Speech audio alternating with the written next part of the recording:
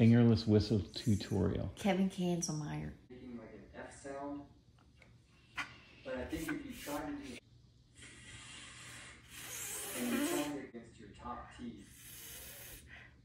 like that, and you want to try to most of the air go out the front of your tongue. So you're practicing this and getting your tongue stronger. You may feel like it kind of flutters a little bit because it's just it's not.